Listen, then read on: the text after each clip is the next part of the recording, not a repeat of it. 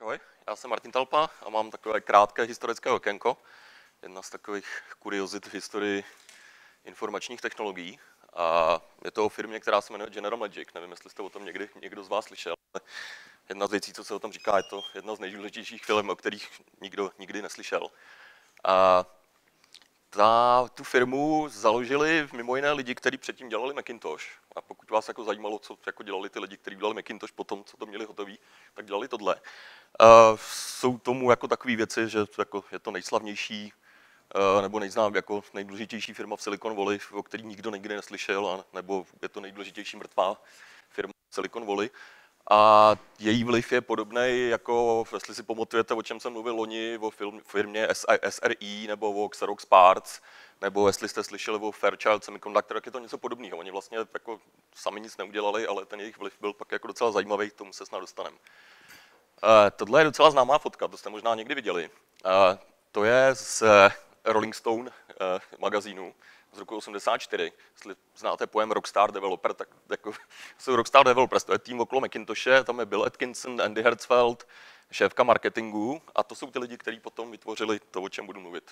Chybí tam Susan Kare, což je ta slečna, která udělala veškerý grafický design Maců, včetně fontů, včetně tý, jako trashcan, ikony a všeho. Uh, ten další důležitý člověk je tenhle, tenhle, tenhle pán a ten někdy v, na konci 80. let uh, se zabýval tím, co přijde po osobních počítačích a co to je informační společnost a kam, kam to jako celý vede a jako by dospěl k názoru, že bude strašně důležitý mít nějaký jako osobní komunikační zařízení, jo, který neměl název. Dneska bychom tomu řekli smartphone, ale on to jako vymýšlel někdy v roce 87-88.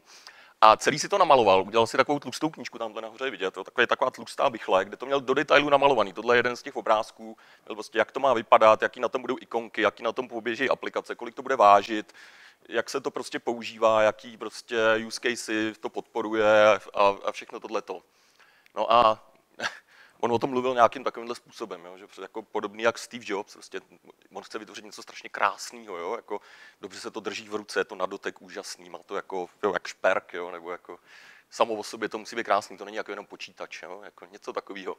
No a z takovejhle, a to, co vlastně oni udělali, ta jediný hmatatelný výsledek té firmy je to vlevo nahoře, ale je zajímavé, že ty lidi, kteří v té firmě jakoby pracovali, tak jak udělali to všechno v ostatní, co je na tom obrázku. Jo.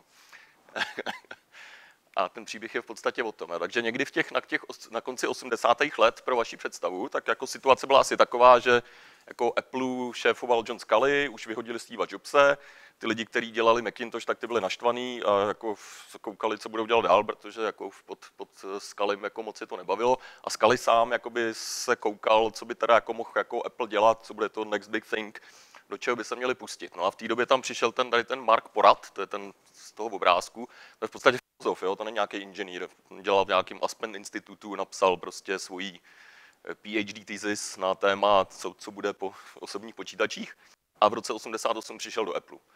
A chodil tam jako po, po Apple a měl tady tu svoji tlustou knihu s těma obrázkama a měl model vyřezaný ze dřeva toho zařízení, jako jak to bude vypadat, aby jako ukázal tohle, takhle to má, takhle se to bude držet v ruce, takhle, jako tohle to chci dělat. A prodal to jakoby Skalimu, jo? Skali ho to jako strašně zaujalo, tak jako pojď, pojďme to zkusit. Uh, on tomu říkal Pocket Crystal, jo? založili v Apple interní tým, který mu říkali Pocket Crystal a na těch obrázcích, jo? jestli vám to připomíná iPhone 6, tak jako on, když si v roce 2015 koupil iPhone, iPhone 6, tak říkal, jo, tohle jsem jako myslel v tom roce 80, to je to, co jsem chtěl. A, tak oni udělali tenhle ten interní tým, pře, jakoby do toho týmu s nadšením jako se přidali všichni lidi z původního Macosu a z Macosu 7 a začali fungovat jako, na inter, jako interní projekt v Apple, tohle jsou další obrázky z té knížky. Jo. Podívejte, jak, jak on to namaloval jako v roce 88, jak to má vypadat. A takhle má takovýhle, jako tam měl jako ikonky, které tam prostě mají být na tom zařízení, které ještě neexistuje. A Oni měli nějakou takovouhle konverzaci, jo, jako by Scully to chtěl hrozně dělat, ten Mark mu říkal, no dobře, ale to se v Apple dělat nedá, vy jste korporace, to jako, eh, takhle, takhle by to nefungovalo, no tak jste udělali nezávislou kompo, eh, jakoby firmu a tu firmu nazvali eh, General Magic. Jo?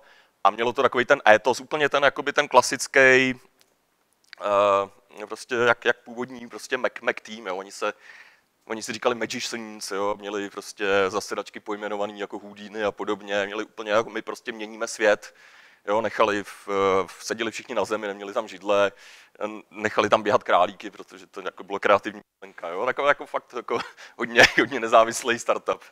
A proč tomu říkali uh, General Magic je jako, možná znáte tuhle větu od AC Clarka, jo, pokročilá technologie je nerozlišitelná od magie. A oni říkali, no tak General Electric tady bylo, jo, General Motors tady bylo, tak my budeme General Magic. a tak jako začali, jako udělali nezávislou firmu, jako General Magic, a prvních jako několik let v podstatě vůbec nikomu neřekli, co dělají. Vůbec jako oni řekli, my pracujeme jako na budoucnosti IT, ale nic konkrétního neřekli. Měli prostě NDA, nesměli mluvit ani s kolegama z Apple, nikomu nesměli nic říct, ale udělal se okolo toho strašný jako hype, strašný buzz, všichni o tom mluvili, eh, byli který se prostě chtěli dostat do té firmy, jak říkali, ty lidi, co udělali Macintosh, mají nový start, no nevíme, co tam dělá, ale prostě chceme tam pracovat. Tak tam jako fakt tam jezdili, zbalili si baťocha, ťukali tam na dveře a říkali, já chci u vás pracovat. Jim říkám, ale my nenabíráme, to je jedno, to je jedno, já prostě dejte mi nějakou práci, já tady chci být. A týkalo se to nejenom těch lidí, ale i velkých firm. Oni nějak jako získali pocit, že to je strašně důležitý, to je prostě změna, to je budoucnost čeho. Tak velké firmy, jo, Sony, Motorola, AT&T, prostě do toho chtěli investovat, takže koupili podíly prostě každý za 6 milionů dolarů, sypali do toho peníze a oni, ten Mark Porat jim jenom říkal, my prostě děláme jako velkou věc, to bude trvat Uh, to uvidíme, jako bude to zajímavé, ale my neděláme nějaký produkt, jako, který má být někdy dodaný, jako my budujeme jako, no, kreativní myšlenky a tak. A vycházely o tom takovýhle články, jo, jako Where Woodstock meets Silicon Valley. A když tam najeli prvního manažera, aby ten tým vedl, tak oni mi řekli, ale my tady nemáme manažery, nám šéfuje tady Andy a Bill a tak co my tady, tady nechceme, myš pryč. Jo, tak takový dobrý startup a řekli, že udělají něco, co se jmenuje Magic Cap. Jo, a chtěli to jako ještě léta jako vyvíjet. Akorát v roce 93 Scully vyhlásil Apple Newton, a Apple Newton měl původně dělat něco trošku jiného, ale Scully ho to, co dělá ten General Magic zajímalo natolik, že to trošku uspůsobil a ohlásil to v roce 93 a oni všichni spanikařili. A investoři spanikařili a říkali, kdy budete mít nějaký produkt, musíme udělat produkt. Tak oni jako vymysleli něco prvního, co jako můžou dodat a ty zaměstnanci tam prostě spali, jo, strávili prostě několik měsíců, vůbec nevycházeli z těch kanceláří, dělali 80, 120 hodin denně, prostě ship or die, prostě makali kontinuálně a vytvořili něco, co se jmenuje Magic Cap, což je operační systém, tohle je blbý, blbý obrázek, já jsem nenašel lepší jak vypadá jako mm, ten hlavní screen toho, toho operačního systému. A to jsou ty obrázky, které dělala Susan, Susan Kare, takže pokud se vám to připadá jako starý Macintosh, tak to je proto, že to namalovala stejná paní. A e, zase jo, vytvořili obrovskou prostě IT alianci, nasypali do toho spoustu peněz a v roce 94 konečně jako ohlásili nějaký jako zařízení, jako který, na kterém se to může používat. Byly dvě, a to druhý je Sony Magic Link. Vypadá takhle, Jo, tohle to nakonec vyřešit, jako, jestli vám to připadá trošku jiný, než to, co mělo na těch obrázcích, tak jo, to bylo jako nouzový řešení, prostě jediný hardware, který mohli vytvořit, ale vytvořili to v roce 94 a uvědomte si, že jakoby třeba eh, GSM v Americe začalo v roce 95, Wi-Fi neexistovalo, eh, Tohle se připojovalo normálně tím jackem jako do telefonní zástrčky, aby to mohl komunikovat, mělo to softwarový modem, touchscreen jakoby vymysleli oni, aby jako to mělo touchscreen, předtím takhle malý touchscreen nikdo nedělal. Jo? Takže jako to bylo jako dost unikátní.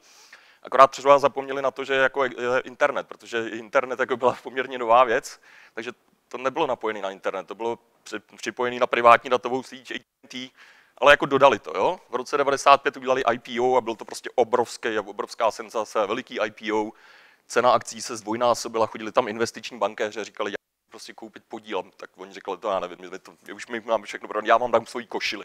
Řekl, tak si sundej košili, no, tak on si ji sundal, dobře, tak dobře, tak dáme vám podíl ve firmě. Takovýhle, no a, a a v roce 98 byly ty akcie za jeden dolar. No. to byl jejich konec, to byl jako ten jako, jo, highest point a od té doby už to šlo jenom dolů. Ty zařízení nikdo nekupoval, oni jich prodali jenom tři tisíce celkem. Jo? A většinou jako svým kamarádům a rodinám, dokonce tam ty jejich, tam ty takový dokument odberej a ty lidi říkali, no my, my, jsme se koukali prostě na seznam kupujících a my jsme je všichni znali jménem, jako nikdo, nikdo to nekupoval. jo, takže do, roku, do konce roku 95 všichni odešli, Mark Porat odešel v roce 96, ale byli tam pak dva zajímaví lidi, jeden se jmenuje Tony Fadel a druhý Andy Rubin. A Tony Fadel pak udělal iPod, on byl ten hlavní inženýr a pak dělal i na iPhoneu, na těch prvních. A Andy Rubin založil Android. A tyhle lidi seděli jako junior inženýři pět metrů od sebe v této firmě. Což je to asi na tom nejzajímavější, protože jako několik věcí, proč to selhalo, Oni prostě se snažili udělat něco super dokonalého, ale v roce s technologií v roce jako 93 to prostě nebylo možné. Oni museli vymyslet úplně všechno od začátku a to se nedalo. Jako John Scully jim dost jako podrazil plány, protože donutil to udělat, jako pustit na trh mnohem dřív, než chtěli. No a pak jako úplně jim unik World Wide Web. Oni jako o tom nevěděli. Byl tam další zajímavý člověk, který se jmenuje uh, Pierre, uh, oh, oh, oh, no on založil eBay. Jo, on si tam něco kutil, on byl nějaký prostě developer support a furt tam něco dělal jiného, než za co byl placený a říkal, já tady mám něco, tak se to jmenuje, to je webová stránka, k čemu je to dobrý, já tam chci dělat takový jako bazar. Říkal, to je blbost, prosím tě, jako s tím když někam, tak on to byl pak eBay. Uh, jo, a teď jako oni dělali v podstatě všechno správně. Jo. Oni měli úplně nejlepší lidi, který můžete, jako, jo, nejlepší developer, který vůbec můžete sehnat. Měli šílenýho vizionáře, ten byl schopný pro, prodat všechno. Jo. Jako, lidi na ně házeli peníze, uh, měli úžasný PR, jo, to prostě obrovskou průmyslovou alianci. Stejně to selhalo, jo, to prostě se nedalo udělat.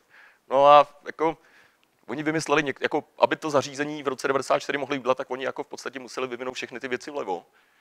A to stejně bylo málo, jo, ale třeba ty lidi, kteří jsou vpravo, tak to je odkaď jako pak nás vznikly všechny současné iPhony, jo. A spousta dalších věcí. Ty lidi, kteří v té firmě dělali, tak pak jako šli do Twitteru, do BlackBerry, jo, ty lidi, co programují Safari browser.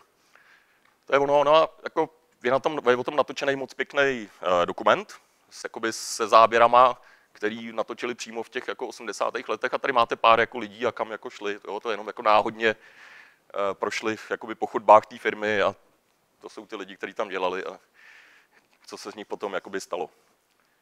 No a to je vlastně jako všechno. Pokud si o tom chcete přečíst víc, tak jako tady jsou nějaké možnosti. To uh, General Magic the Movie je výborný, to jako, jo, je to moc pěkný dokument a ta atmosféra z toho pěkně vidět. A to je všechno. Jo, jako nen... Děkuji.